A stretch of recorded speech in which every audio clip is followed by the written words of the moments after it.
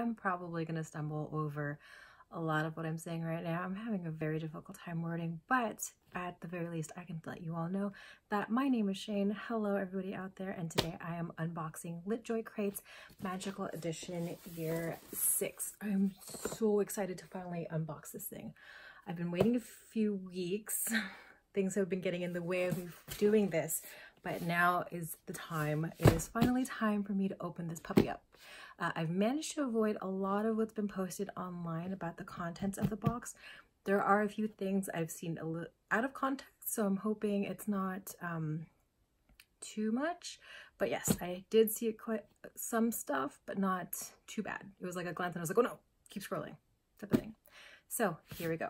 Uh, but before we do this, I did want to talk about the new packaging on this box. Normally it's a, um, a simple brown box with the same LitJoy Crate Magical Year Magical Edition uh, stamp on it, but this time around they have uh, a few additions here. It's a green box now, and there are images from the story that are included, such as the necklace that Katie Bell uh, was cursed by, believe this should be the Vanishing Cabinet, uh, Dumbledore and Harry, and these, the Infernal that attack them at the lake.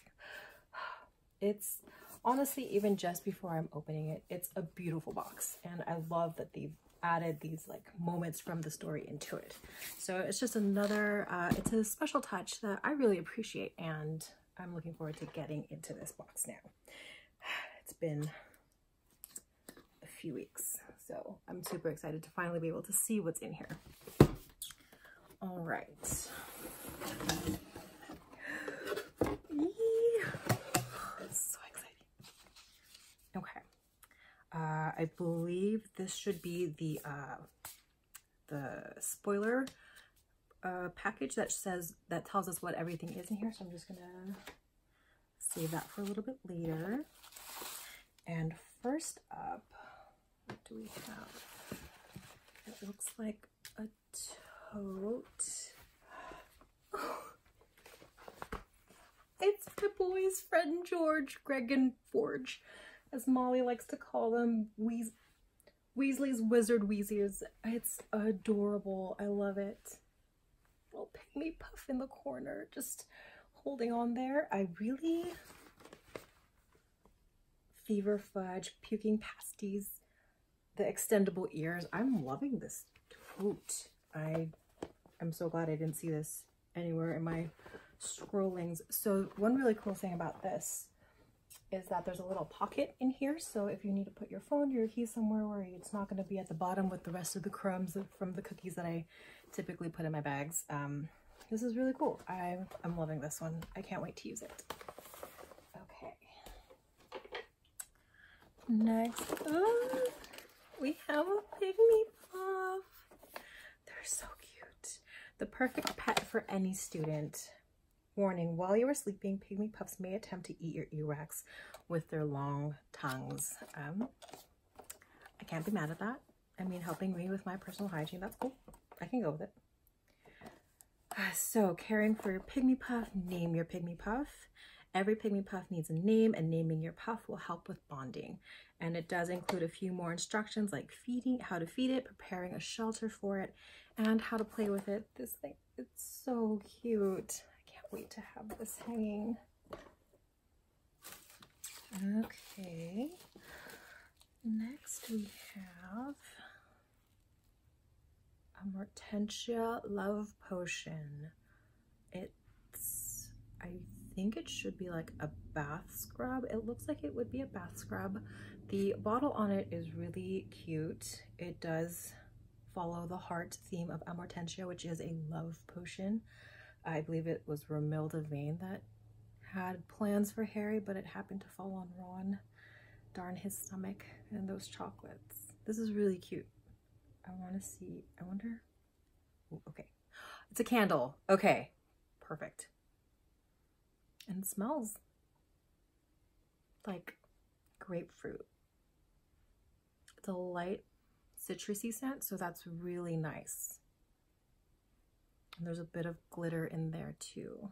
But this bottle is really cute. Might even just stick you up there in my red theme books. Okay, moving on to the next item. Ooh. I like that there are a bunch of little boxes inside of boxes. Anytime I have to unbox a box within a box. Hmm, is that right? Unboxing a box within a box. Yes. It's exciting for me because then it's just another little, it's like the present that keeps on giving because you never know what you're going to get. And this one, it's a, um, it says, Farewell, Aragog, King of Arachnids.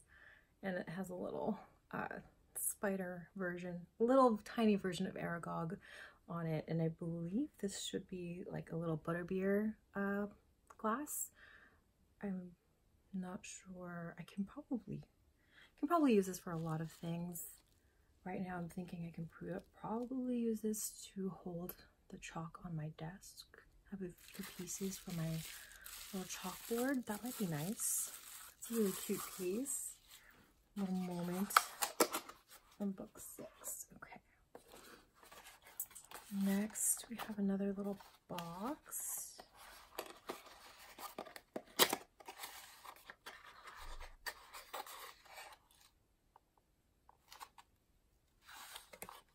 If this is what I think it is, I'm dying.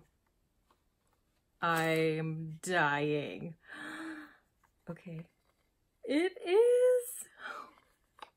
I love this so much. So I've seen these online um, and they're these little music boxes. I believe that's what this should be. It's a music box where when you wind it up, it should play a song from Harry Potter. This one does have a phoenix emblazoned on it. Uh, yes, it is a phoenix. And then when you open it up, it says the ones that love us never really leave us. And so let's just give this a little crank.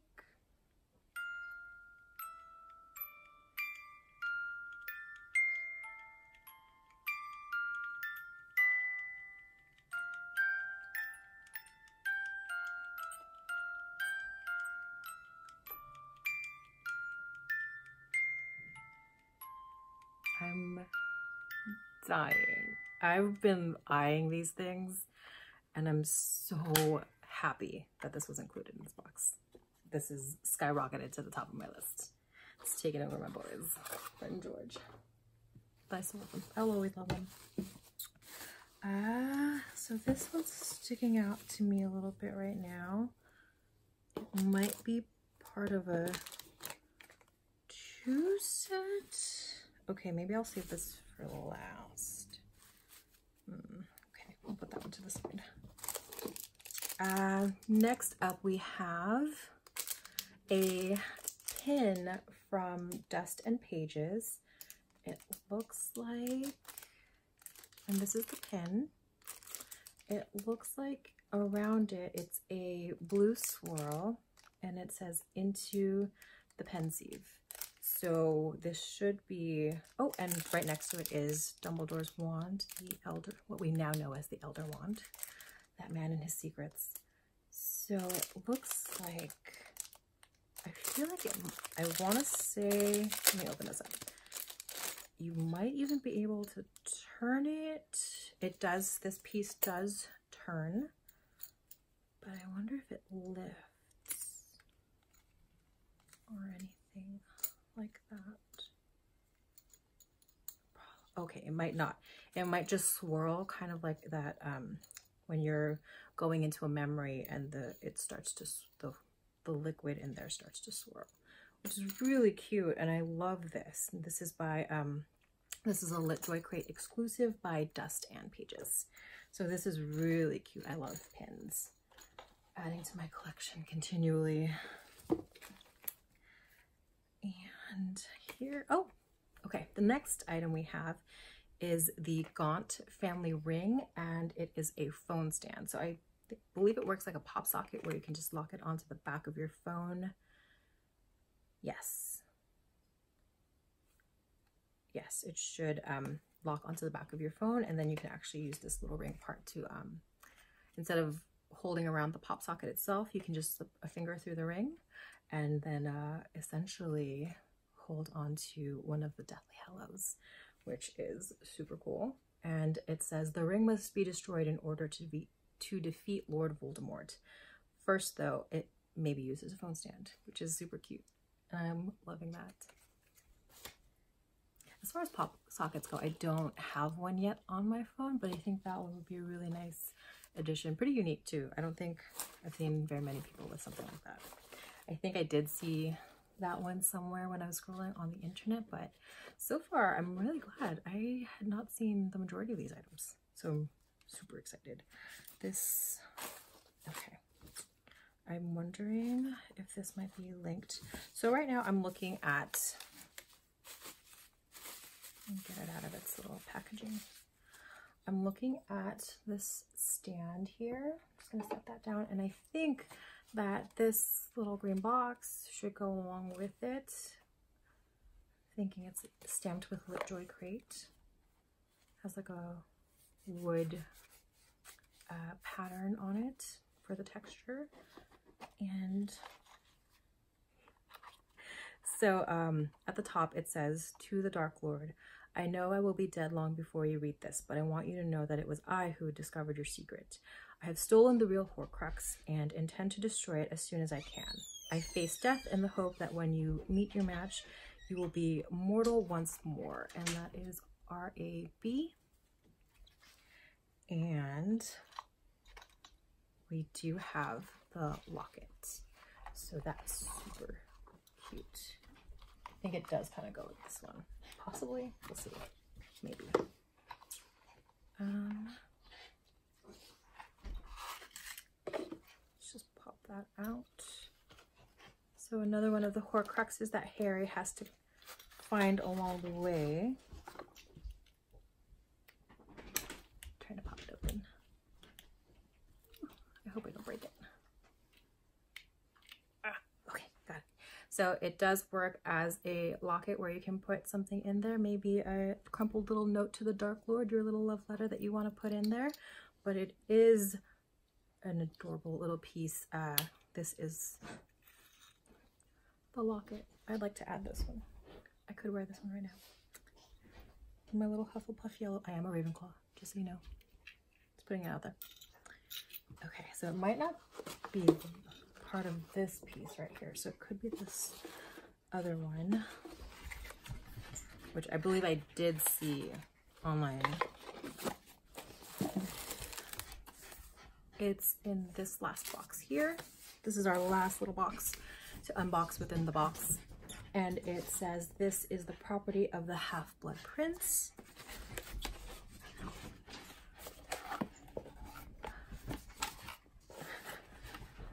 I want a copy of this book for real. It is advanced potion make advanced potion making. And when you open it up,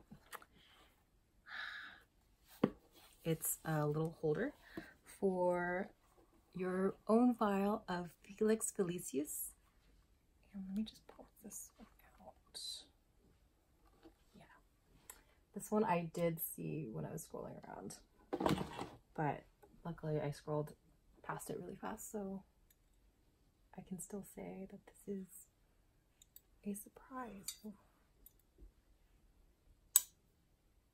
Okay, locks into place. And you can just have it just like that. That's so cute. It has little uh, gold beads in there to simulate the potion that Harry wins after obtaining this little beauty with our own Severus Snape's notes in there. And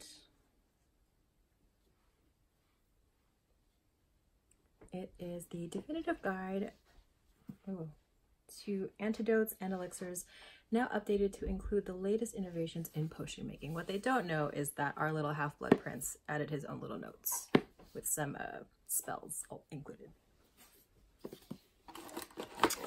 And so I think we're down to our last item.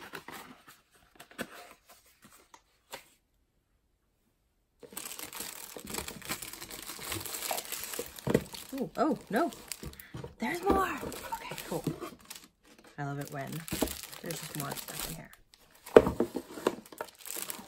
Okay. Ooh, sorry, glasses logging. This one.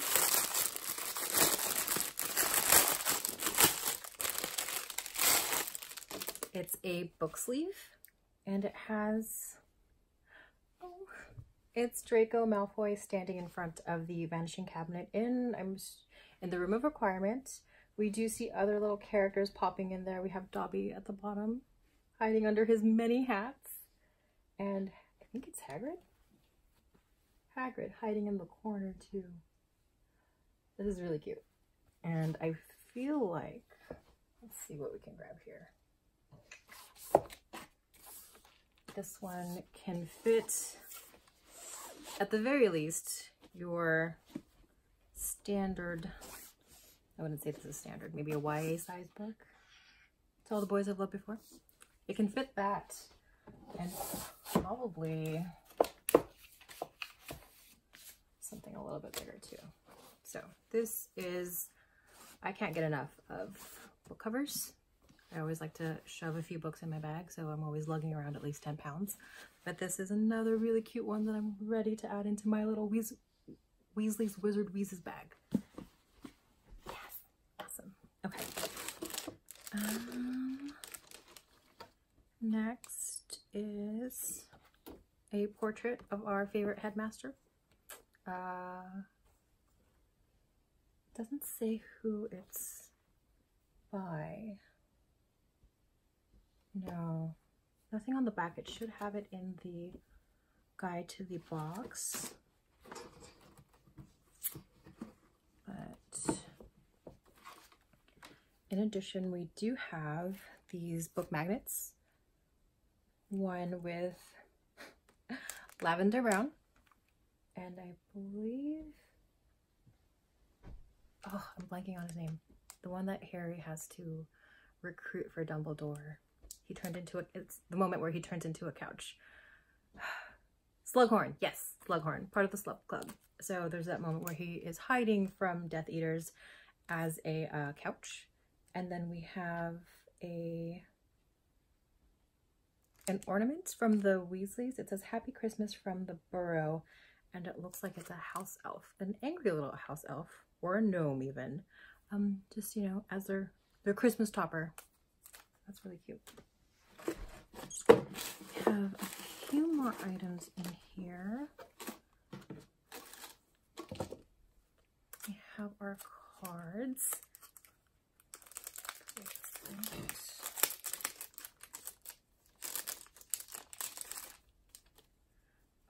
So we do have Dumbledore, Severus Snape, an older teen Tom Riddle, very moody.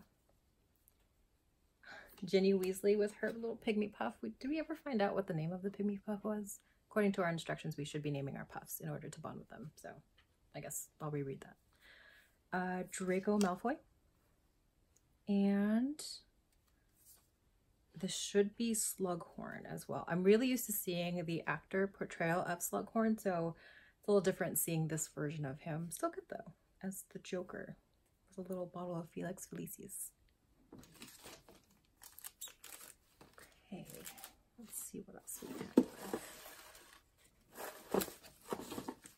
Um,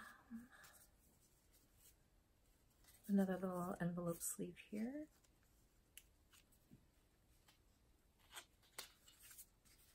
Okay, it's a little stiff, so I don't want to break it.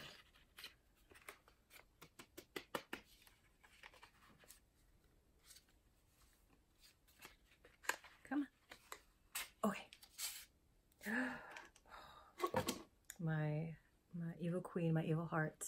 Uh, one Bellatrix Lestrange wood bookmark.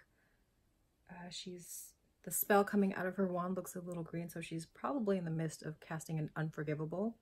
And on the back side of it is the moment where Narcissa and Snape have to make the unbreakable unbreakable vow from the beginning of the story. This one's really cute. I'm loving this one. It's very sturdy. And this artwork is amazing. Bellatrix is frightening and beautiful in all of her evil glory. But you gotta love her. She's a great villain. Even though she killed my Sirius Black. And so finally we have a little silver envelope with this purple seal. I'm loving these colors. Uh, and it's on the seal, it's Professor Slughorn with a cauldron brewing. So let me, I don't want to break the seal. I mean, you do have to break it to open it, but I don't want to tear it. Ooh. Hold on.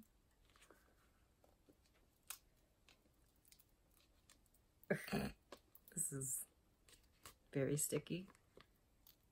Okay. If there was another way to open this without damaging it, I wish I knew. Okay, it's not too bad. Minimal.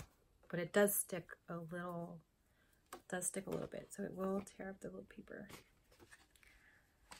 So fancy. Okay, so I am now in receipt a few months early. I'll still go. I like it. It says you are cordially invited to a Christmas party hosted by Professor E. H. E. F. Slughorn, December 20th at 8 o'clock p.m. The party will take place in Professor Slughorn's office at Hogwarts School of Witchcraft and Wizardry. Wizardry. And this is a beautiful little card. You can see that there. Silver foiling. I could probably add this to some of my, I'm trying to build a little collection of all my paper recreations for stuff. Um, trying to put that together, but this is a really beautiful um, recreation of the invitation from the story. Uh, so that is it for this box. I love this box.